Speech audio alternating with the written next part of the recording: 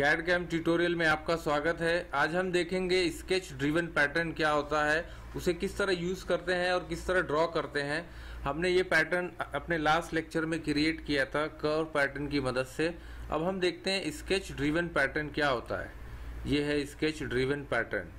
तो चलो पहले इसके लिए हम कुछ पॉइंट्स बनाते हैं। स्केच ड्रिवन में हम पॉइंट सेलेक्ट करते हैं। पॉइंट की मदद से हम कोई भी पैटर्न बनाते हैं।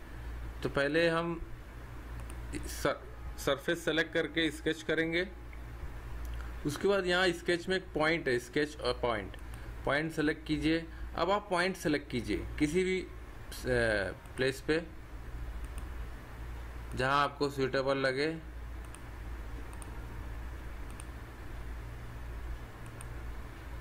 ओके अब हमने ये पॉइंट्स सेलेक्ट कर लिए। अब हमारा पैटर्न इसी पॉइंट पे बनेगा।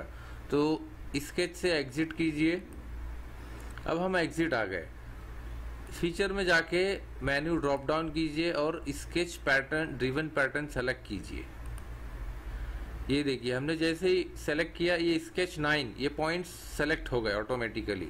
आप चाहे तो यहाँ से भी सेलेक्ट कर सकते हैं पॉइंट। तो हमने ऑलरेडी सेलेक्ट कर लिया। उसके बाद हम फीचर टू पैटर्न, अब हमें क्या पैटर्न करना है? सर्कल या रेक्टेंगल हम देखेंगे रेक्टेंगल किस तरह पैटर्न होता है। तो ये रेक्टेंगल जो है सेलेक्ट करेंगे। एक्सट्रूड कट ये देखिए, जैसे ही हमने रेक्टेंगल सेलेक्ट किया, सारे रेक्टेंगल उस पॉइंट के सेंटर में जाके बैठ गए। अब जैसे ही हम क्लिक करेंगे, वहाँ पैटर्न रेडी हो जाएगा। सेलेक्ट ओके ये देखिए, सारे पॉइंट पे एक पैटर्न तैयार हो गया। तो इसे कहते हैं स्केच ड्रिवन पैटर्न ये बहुत ही इंपॉर्टेंट और यूजफुल टूल है। हम इसका यूज़ आगे देखेंगे। उम्मीद करते हैं वीडियो आपको पसंद आया होगा। इसे लाइक करना और शेयर करना ना भूलिए।